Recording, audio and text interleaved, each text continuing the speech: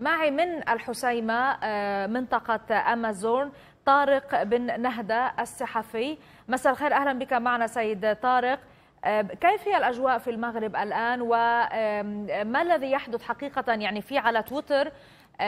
ردود أفعال متفارقة. ثمة من مختلفة جدا يطالب بتحقيق وغاضب جدا مما حدث. وثمة ما يقول أنه يجب طبعا الوقوف إلى جانب الضحية ومعرفة مطالبة من له علاقة بهذا الموضوع. ولكن لا تسمحوا من أبرز ما ورد على تويتر بتسييس الموضوع.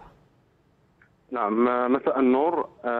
هو بداية وهناك أجواء غضب عارمة ليست فقط في منطقة الحسيمة وإقليم الحسيمة يعني مكان مقتل الراحل بائع سمك محسن فكري. ولكن أجواء عارمة على مستوى الوطن يعني في عدة مدن هناك احتجاجات عارمة خرجت منذ أمس ومنذ أول أمس في طنجة في تطوان في مراكش في أكادير. ومن المرشح أن ترتفع وتيرة هذه الاحتجاجات خاصة أن ليس هناك نتائج مباشرة للتحقيق الذي طالبت وزارة الداخلية بفتحه.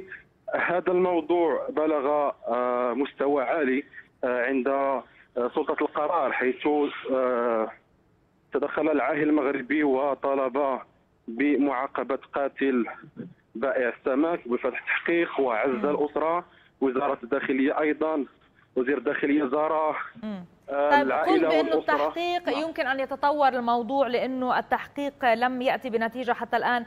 كان من المفترض يعني لا أعرف تفاصيل التحقيق والجلسات من المفترض أن يتم الخروج بأي نتيجة من خلال التحقيق بخلال يومين؟ نتحدث عن جمعة حدثت.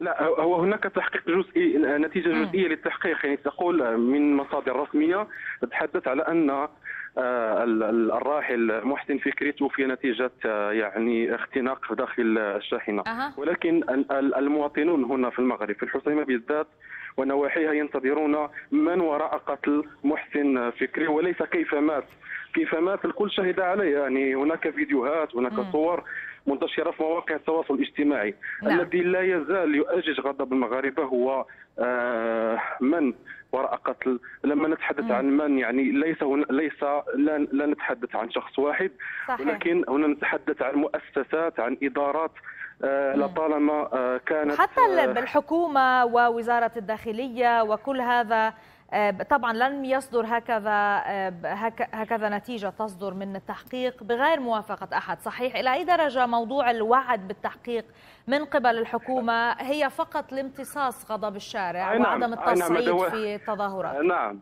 فعلا هذا هو المشكل في المغرب هو ان فاس هناك قضايا أقل حدة من من مقتل الراحل محسن آه وعدت فيها الحكومة بفتح تحقيق في في شخص وزارة الداخليه وزارة الداخلية ووزاره العدل والحريات لكن آه هي كانت مجرد آه كلام من امتصاص الغضب لأن يعطى وعد بفتح التحقيق تمر الأيام يخفت الغضب ثم تنسى القضية ولا نتيجة للتحقيق. يعني يعني نتذكر هناك قضايا متعددة فيها آه كارثة مقتل أزيد من 40 شخص في في طنطان أو قبل سنتين آه يعني كانت هناك عدة قضايا فهذا الذي نعم. آه جعل الغضب يشتد كثيرا أن طيب. آه أعتقد نعم. ان غضب المغاربة ليس غضبا على مقتل محسن فقط يعني هو على تراكمات ونأمل يعني أن لا يكون ما حدث مع محسن فكري مثل ما حدث مع حمزة الخطيب بدرعا نعم.